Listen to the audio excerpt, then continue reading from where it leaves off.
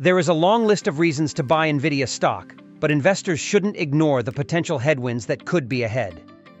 NVIDIA, NVDA 3.89%, was a $360 billion company at the start of 2023, but thanks to a whopping 745% gain in its stock price, the company is now worth over $3 trillion. It's experiencing a surge in demand for its data center chips, which are the most powerful in the industry for processing artificial intelligence, AI, workloads. In June, NVIDIA stock was trading at over $1,200 per share, which made it somewhat inaccessible to smaller investors, so management executed a 10 for 1 stock split effective June 10th. The split increased the number of shares in circulation tenfold and organically shrank the price per share by 90%. It hasn't changed the underlying value of the company, but investors can now buy one share of NVIDIA for just $123 as of this writing.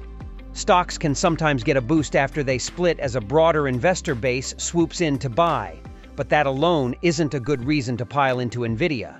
Investors should focus on the company's fundamentals instead, and here are two great reasons to buy the stock. Before we begin, this video is not an investment advice and must do your own diligence. However, with my experience investing for years, the content from this video has a solid research foundation. Check our Patreon on the description below for an inside members-only access on what are the best buys now. We will also update you on what to sell for gains or to avoid losses. Subscribe to our channel so you will never miss out.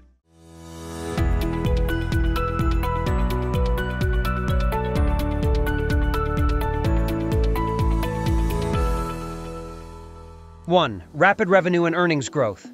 NVIDIA CEO Jensen Huang estimates there will be around $1 trillion in spending on data centers over the next five years as operators try to meet demand for computing capacity from AI developers. NVIDIA's H100 graphics processing unit, GPU, set the standard for AI chips, and as a result, the company has a market share of more than 90% in the segment. That allows NVIDIA to charge a premium for its chips, which is driving incredible growth in its revenue and earnings. In the recent fiscal 2025 Q1, ended April 28th, the company generated a record $22.6 billion in data center revenue alone, which was a 427% increase from the year-ago period. It marked the fourth consecutive quarter of triple-digit percentage growth in the data center segment. NVIDIA's Q1 earnings per share soared 461% to 6.12 as the company's gross profit margin continued to climb, reaching 78.9%. Three years ago, before the AI boom started, and gaming was NVIDIA's largest segment, its gross profit margin was around 66%. That highlights just how profitable the company's data center GPUs are, thanks in part to its pricing power. 2. Despite blistering gains, NVIDIA stock still might be cheap. As I mentioned, NVIDIA stock is up 745% since the start of 2023, but it might still be cheap, at least by the widely used price-to-earnings PE ratio, which divides a company's share price by one year's worth of its earnings per share. Investors often use that metric to measure the value of a stock relative to the rest of the market.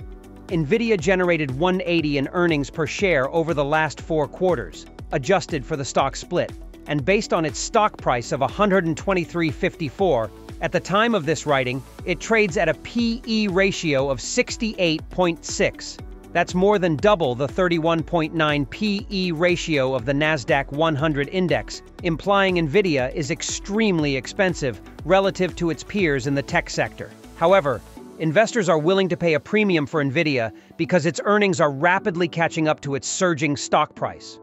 For example, Wall Street analysts predict NVIDIA will generate 272 in earnings per share for the fiscal 2025 full year giving the stock a forward PE ratio of 45.4. They also forecast 3.74 in earnings during fiscal 2026, translating into a forward PE ratio of 33.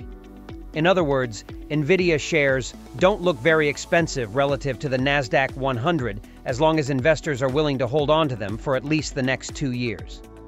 Of course, there is a risk Wall Street is overestimating NVIDIA's earnings potential, in which case the stock is more expensive than it currently appears. Further upside in NVIDIA stock isn't a given. Last year, Goldman Sachs released a report suggesting generative AI could add $7 trillion to the global economy over the coming decade. However, last month, the investment bank issued a new report expressing concerns over the lack of a killer app, implying companies are struggling to deliver a payoff for all of the money they have spent developing AI so far. Huang's forecast for $1 trillion in data center spending over the next five years could be in jeopardy if Goldman's concerns begin to spread through the tech sector. That would directly impact demand for NVIDIA's GPUs and drive a slowdown in the company's growth. But I think there is another reason NVIDIA investors should be cautious. Artificial General Intelligence, AGI, describes the moment when AI matches human intelligence in most cognitive tasks.